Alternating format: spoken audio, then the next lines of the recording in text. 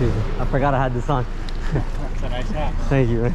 How's the Gheenoe Awesome. ride? Oh, amazing. I actually redid it completely. It was, uh, this is a high sider, so you know how it has like those three sections? Yeah. Took out the middle section, made a false floor, Fiberglass. front deck with a hatch,